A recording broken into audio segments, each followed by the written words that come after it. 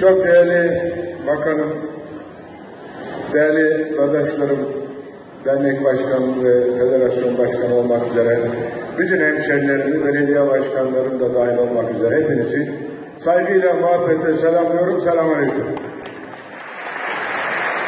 Bu organizasyonu yapan kim ama her kimin bir kaşık, bir damla kaşığı kadar emeği varsa hepsinden Allah razı olsun. Şimdi uzaktan seyredenler bu işi böyle çok kolay sanır. Böyle kendiliğinden oldu bitti.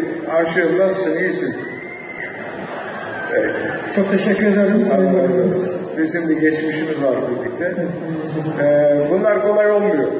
Buraların hazırlanması, bu organizasyonun yapılması, her şey böyle bayağı yorarlar, yorar bu işi, bu işler adamı. O yüzden Allah hepsinden razı olsun. Herkese teşekkür ediyorum. Onları bir alkışlayın. O emeği geçenleri Federasyon Başkanımız nezdinde bütün dernek başkanlarımızı, bütün emeği geçenleri, yönetimdekileri kutluyorum. Oltu Kurtuluş Bayramı dışında Oltu'nun tarihi anlamda önemi, başka bir önemi daha var.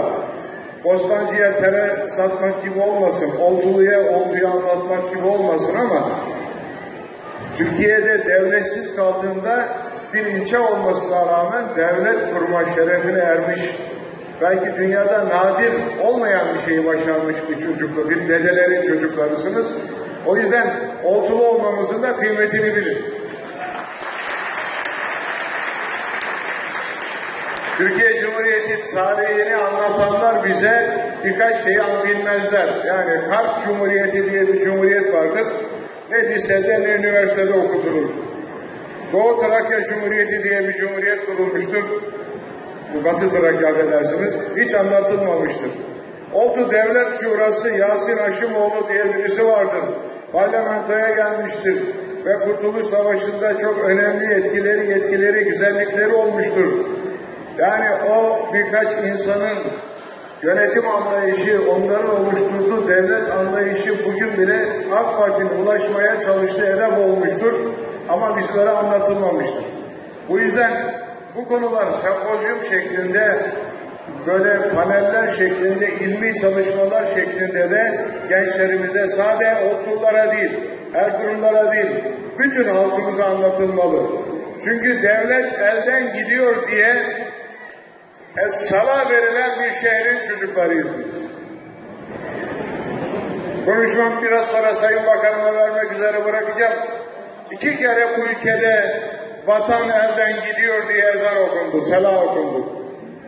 Bir tanesi 77-78 yani Rumi takvimle 93 Harbi denilen bir harpte Rus ordularının Azize'yi darmadağın ettiği bir dakikada sala veriliyor.